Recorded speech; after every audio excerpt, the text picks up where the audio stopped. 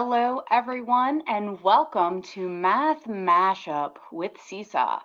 This webinar is intended for upper elementary and middle school teachers and students so that we can mash up some math with some good math talk and differentiation and even uh, throw in some positivity, positivity and personalized learning as well. I'm excited to have you here with me. My name is Kara Brem. I'm formerly a third, fourth, and fifth grade teacher and also a seventh grade math teacher in Cary, North Carolina, right outside of our capital city of Raleigh.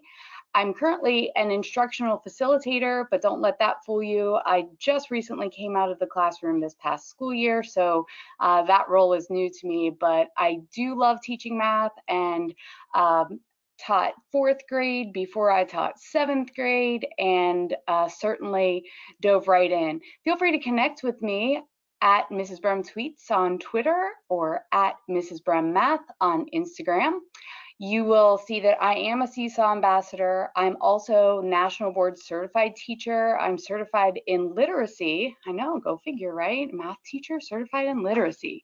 I'm also a Google certified educator uh, level two. So um, I excited to have you here with me. A couple housekeeping things. Thank you to everyone who is joining me live. We do have uh, a nice group here today. So if you are joining me live, I appreciate you and you get a nice little free pass. Uh, you'll get a certificate for viewing that will be emailed directly to you for watching live. So that certificate of completion for this 30 minute webinar will be emailed to all of my live viewers. So live viewers no need to listen for a code during this session.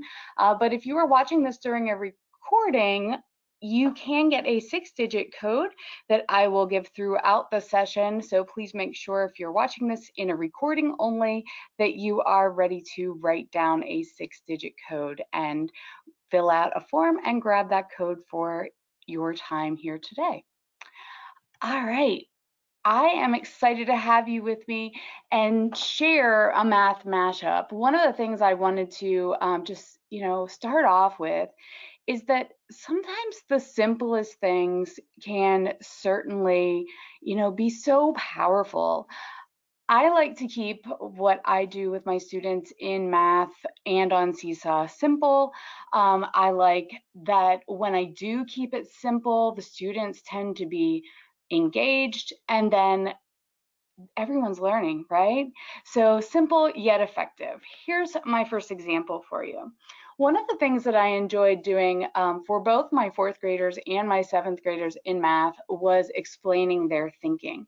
So that's um, allowing students to solve problems and tell about their problems, whether it's solving more complex uh, multi-step balancing equations, for example, like you see in this activity, or it's very simple. You can encourage um, choice and voice on how students share, and you can also encourage students to have some math talk where they're using that vocabulary and working, um, working things out on their own. Let me share with you a student example we have uh, here, let's go. Today we are doing 2 times the quantity of x plus 2 equals 164. First we have to distribute 2. So we do 2 times x, that equals 2x. And then we do 2 times 2, that equals 4. And that equals 164. Next what we do, we have to even it out, so we subtract 4 away from both sides. That would leave us with 2x is equal to 160. Next, we have to divide it by 2. We should divide both sides to get it equal. Look. All right, so, you know, you can see here, and there's an additional minute and 15 seconds you haven't seen yet, but he does continue to go through and solve his um, solve it totally completely correct and check his work with um, you know, with that math talk, he's bringing in some vocabulary, talking about balancing those equations and all of that uh, can be so powerful. A second quick example that I do have here for you as well is from a fourth grade classroom. See if we can get this started. My computer's acting a little slow. There we go. It has a hat, a head, two arms, two legs, and a body and also a dog. Okay, so I'm going to pause that for a second. And um, I like to share this example because one of the things that I think is important here uh, for teachers is not necessarily, you know, listening to the students all the time, but it's getting a snapshot of their work and being able to check it in your own way at your own time while listening to them, um, you know, share things out. This student really isn't sharing how she solved the problem. She's certainly sharing all the parts of her robot. But the simple part of all of this was that it was with something we did hands-on in my fourth grade classroom as compared to the last example that was done only truly in Seesaw where he was, um, you know, sharing out his um, his math with just Seesaw. So I wanted to show both of those for that reason. It can be as simple as just sharing and talking through something that's already been done in the classroom. Encourage that math talk, let the students choose. It can be so powerful for them to hear themselves. Um, another example of um, how I've used Seesaw and with my students was through real world relationships. I loved having the students see something that they're learning in math and really be able to find it in the classroom or find it in the school.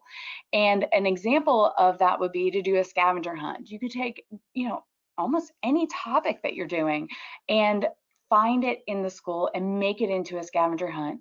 The example that you see to the right is um, goes along with the activity that's listed there on the left, where students went around the room and they were finding radius, diameter, circumference, circumference, and area. They were telling me how would they find that, um, you know, with objects in our own classroom. And they were using Seesaw to label, whoops, excuse me, let me head back here a second. Ah, they were using it to label. My apologies for that.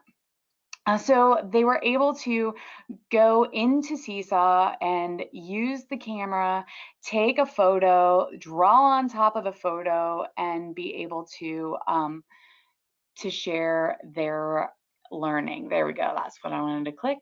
So here's just a quick. Circumference is the perimeter of a circle. Very simple, but very effective. By watching these, I can see if my students understand the parts and the pieces, and I'm able to um, determine that. Now, I can fast forward this a little bit. This is just a chair in our classroom. Students used whatever they wanted. They used water bottles, they used um, markers, you know, the end of a marker, all kinds. So they were able to um, you know, share what they knew. And students who didn't share all the parts and pieces, I was able to go back and determine, well, did they not share because they were, um, you know, truly unsure of what a circumference was or what a diameter was or how to find the area or you know was it for another reason so uh, this is a very quick and simple example from my fourth grade classroom that um, you know we were looking at patterns and it was take a picture and share pattern that you find in the classroom. Again very simple but very effective. If you're watching and a recording of this webinar please write down the first three digits of your six digit code 983 all right so Another thing I'd like to do with my math students is always encourage a positive math mindset students often start math and jump into math with the, oh, I, am not good at math. I can't do that before they ever even try. And I think, you know, as long as you keep that positivity flowing all year long, they're going to build that math positive math mindset. One of the things that I'd like to do was to um, start by setting some goals and celebrating successes. I, we looked at Mondays as a way to celebrate instead of dread. So we were uh, celebrating Monday, and each Monday I had a different activity for them to do. Every Monday, I had them uh, click on the activity and share a positive that they had. So you can see the example there for Celebrating Monday. They would click the add button. They decided how they wanted to share their positive. They'd be able, you know, to explain why um, they're looking forward to this positive thing in class. Uh, so that's just one example. I have some other examples here to share with you. Here's just one, a student decided they were just gonna type it up as um, a text box or a label. So they were just giving me their example of how, um, you know, they were going to um, make their day amazing and better and really try to focus on um, you know, getting help if they need help. So it's the little things like that that if you continuously do them throughout the year, you really can see that student growth. This one, along with a Seesaw activity that I do have linked in here, uh, where we we talked about how success is like an iceberg. You only see part of that iceberg, and there's so many things that really are making up that iceberg beyond what you truly see. So this was a student response. Um, what she thought as a seventh grade math student. Uh, she said people don't see all the practice and hard work you put into math class every day. They only see the success that you get on the test. So she's using Seesaw to um, to share that response. But I think keeping that positivity alive and uh, well in your classroom is certainly something that you you can't go wrong with. Um, another thing that I like to focus on with my students was what I called the power of yet. And that would be, um, you know, if a student said, well, I, I can't solve that problem, I would encourage them to add the word yet onto the end. So by giving your students the power of yet, um, maybe I can't balance equations. I can't use a protractor to measure my angle yet, but if I did this, I would be able to. If I ask for help, if I practice. So maybe you could even think of one thing that you're not sure that you can do just yet. Um, I can't do handstands just yet. Um, who knows if I will ever be able to, but if I practice on my strength and uh, continue with yoga practice, maybe I will be able to, right? So think about how you could just add one simple word, the word yet, and provide opportunities uh, for students. Here's a quick example. I can't answer a question by situation as relationships but if I try my very best and practice solving it, then I will be able to do it. There we go. Very simple, right? But but the power of yet was so effective, especially with my seventh graders who are doubting so many things about themselves at that age, uh, that it, it really was a, a fabulous year um, using the power of yet. And then I took advantage of also um, really trying to get to know my students and building relationships. And one of the things that we did to celebrate Monday was um, called Two Stars and a Wish, where everyone had something that makes them feel proud, um, at least one thing, if not two things, two shining moments that made them feel proud about themselves. And then one thing that they wish that they knew their teacher knew about them as a student. So uh, there were some pretty powerful responses here for my students as well. Uh, so they gave two shining moments, you know, good grades on an assessment, uh, working with partners in class, but they wish that I knew that they like answering questions and taking challenges in class. And that might not have been something that I knew. Uh, another quick example here um, that they were believing in themselves to do good on the next math test and that they studied a lot and gave themselves extra practice. So maybe that's something that I didn't know about them. And, you know, I think it's pretty amazing when you start building those relationships with students and they feel comfortable enough to share with you their teacher.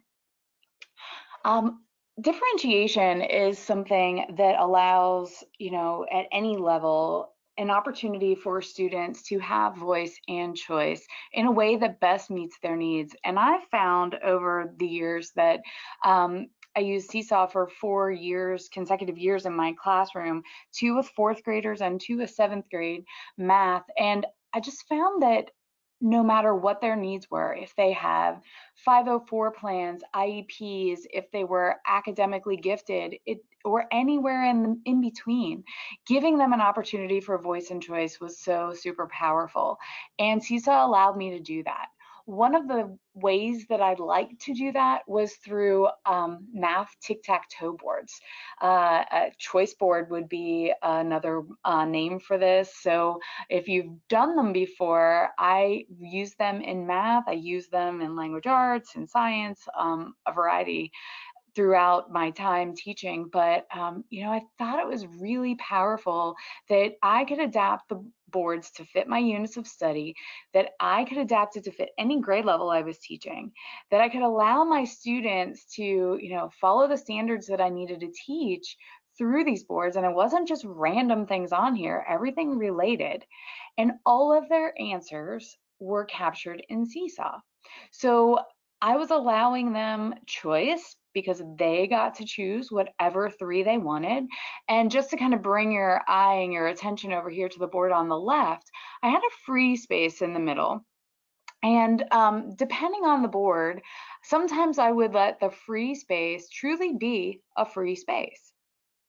Or depending on the student and the board, sometimes I would let the free space um, be an opportunity for them to freely choose an activity that might not have been three in a row, like maybe they want to do these three in a row, but they also like this example activity over here so they could slide it down in, or free for them to create their own activity as well. So you can adapt boards to um, you know, to go with all different kinds of uh, subjects and grades and student needs.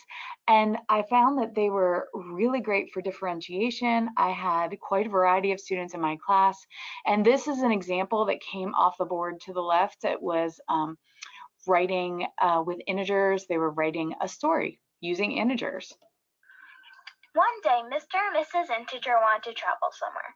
They decided the destination had to be above sea level, represented as a positive integer, and not below sea level, which be which would be represented as a negative integer, because they wanted it to be close to the mountains.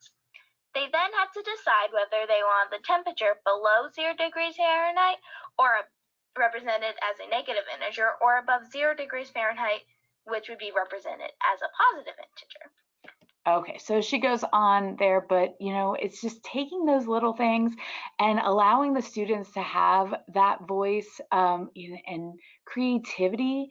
And you wouldn't necessarily think that, oh, math, um, she was applying what she knew about integers in her very short story there, and it came right off of that choice board and fit with our math standards as well. All right. I also really like um, which one doesn't belong. I'm not sure if you're familiar with that, but there is a website for which one doesn't belong, and um, I have over 30 different Seesaw activities that go along with that website that are linked on these slides that you're welcome to uh, use and change if you would like. But I like which one doesn't belong because the theory behind it is that math doesn't have to have only one correct answer. So if you look at the example that you see there, the 9, 16, 25, 43, you might automatically be thinking, oh, well, 43 doesn't belong because all of the other ones are squared numbers, right? Well, what if I told you, hmm, nine doesn't belong because it's the only one that's single digit? Or what if I told you nine doesn't belong because when you add the other two digits, one plus six is seven, four plus three is seven, two plus five is seven. So right there, I already have a couple different ways to justify my thinking and share my reasoning. And I think it's important for our students that we share with them that there there's not necessarily one correct answer in math. That as long as you can support and justify your reasoning, there's plenty of um, you know plenty of opportunity for students to have you know different answers and still be correct because the way that they solve them might be different. Uh, so here's you know just one quick student response. Uh, students could choose how to respond however they wanted to. So we had some audio responses. I this was they were using text boxes here um, you know to put on with as labels basically. But they're gave they gave multiple different situations um, and their reasoning behind it. So there's a couple of examples. Ah, goodness, sorry about that. Uh, there's other examples there if you'd like them. Um, another example that I have here is how I used Seesaw to personalize a learning experience with my seventh graders. And um, last school year, at the beginning of the school year, I had a student come up to me. His name was Connor, and Connor said, Ms. Brem, I really think we could we could play Fortnite in math class. And I laughed at him and said, Oh, Connor, we're not playing Fortnite in math class. And he kind of shrugged and walked away. And the next day he came back and he said, I've been thinking about it. I think we can do it. And I was like, Oh, good one, Connor. Keep going. And then he came back a third day and I said, when he told me the same idea, I said, We'll go home, figure it out, and maybe we can make it happen. And we did. The students were so interested. Now, you know, not every single one, but we had a special group that came and met um, during a 30 minute block we have built into our schedule to allow personalized learning, um, to allow for remediation, to allow for missed work, things like that. But we had time to capture student interest and I had a, a, nice group of students who were interested in this project-based learning, who wanted Fortnite and math to go together. Connor came prepared and shared with me all the ways that he found that he could connect the seventh grade math curriculum to Fortnite. And I got goosebumps when I heard his ideas. Uh, you know, I think it's pretty amazing when students take learning in their own hands. You can meet them where they are. So much so that we took our learning and presented it at the North Carolina Technology and Education Society conference. So the students were there presenting it and presenting their learning. And I even took it even further and went to um, ISTE, which is the International Society for Technology and Education in Philadelphia this past summer and presented this. So if you're interested in learning a little bit more about what my students did, you could click on um, the links or the pictures to the left and it will take you to a website that we created. But a, a very quick example would be uh, we use Seesaw with it too because we captured our learning that they were able to take, you know, and this is a PDF that they created, but they took the Fortnite map and they were figuring out um, there's like a circle in it it's called a storm circle. If you know anything about fortnite that would make sense to you. If you if you don't then just know there's a storm circle in there. They figured out how long the map was relative to other um, places that they knew.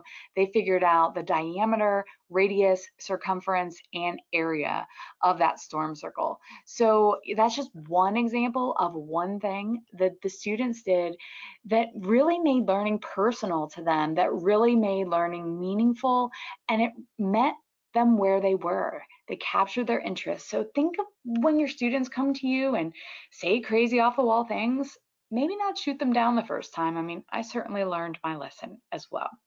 So there's so many different ways that we can, um, you know, make learning and math work for our students. Um, if you would like more ideas, people are willing to share within the Seesaw community all the time. Um, if you're not already uh, connected on Twitter to Seesaw. Also connect, you know, to Instagram at Seesaw Learning, and there are Seesaw teachers pages on Facebook, not only just Seesaw teachers, but individual grade levels. So for example, third grade, seesaw teachers. Fourth grade, fifth grade, sixth, seventh, and eighth grade are lumped together, and even high school. So there are um, opportunities for you to connect with the seesaw community and share ideas and learn from others. There are so many out there uh, for you. And again, my name is Kara Brem. You are welcome to connect with me as well on Twitter or Instagram. But I would like to share the last three digits for my friends listening on the recording, the last three digits of the code that you should write down for the recording is 401.